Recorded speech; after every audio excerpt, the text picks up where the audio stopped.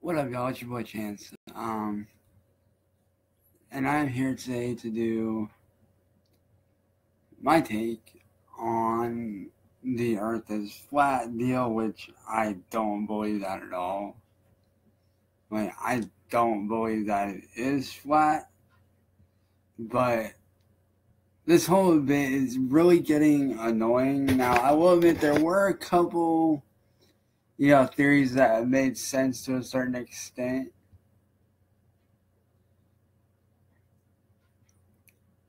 But uh, this is just my take on it and my view on it. You guys can believe whatever you want, but I'm just telling you from my experience. You know, not just as a human being, but as a person of military background, you know, I had to deal with stuff like this a little bit of the times through my dad being military because he dealt with 82nd Airborne Division.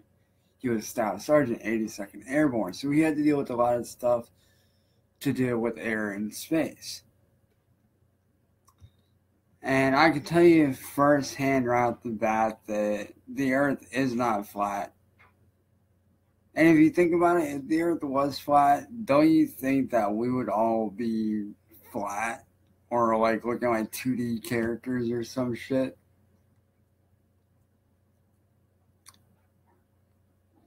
Now, we'll admit though, my buddy the Brick, he, or Brick the Ripper, or Ripper the Brick, how the fuck you say his damn YouTube name?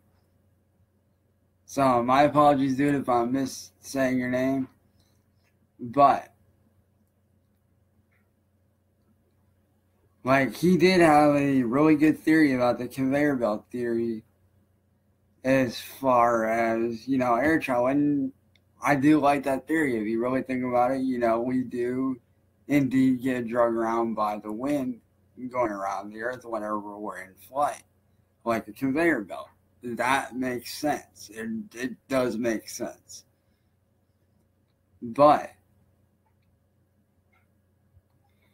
But if you go into outer space and you go to like a space station or something of that nature, and you look down at the earth, it is indeed round.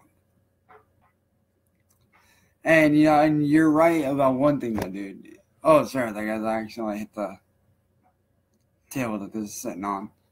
But what was that saying? Oh yeah.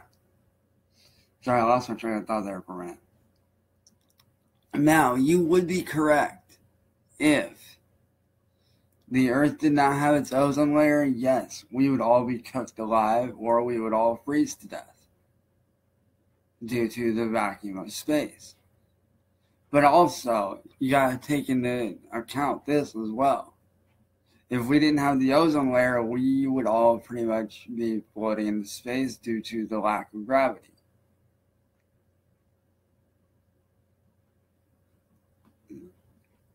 And so, like, let's say you have a missile silo on one side of the earth and you want to launch it.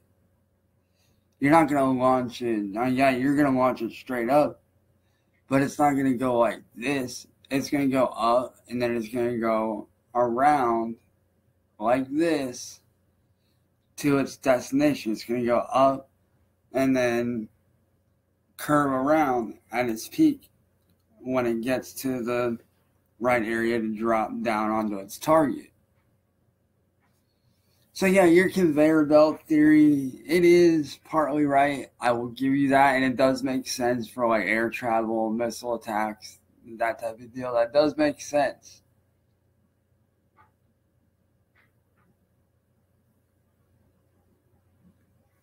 But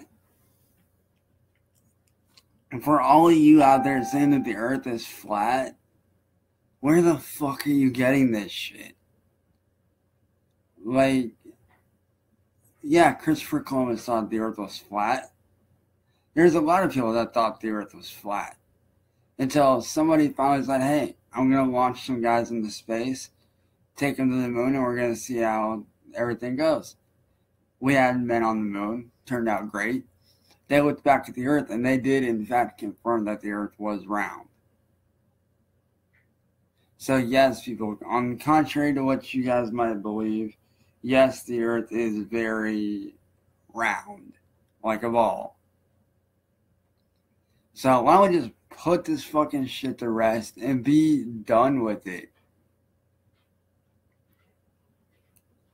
Like, I am seriously tired of this shit getting thrown around and constantly hear, you know, hearing about it. It's like that's all I ever see anymore. It's getting old.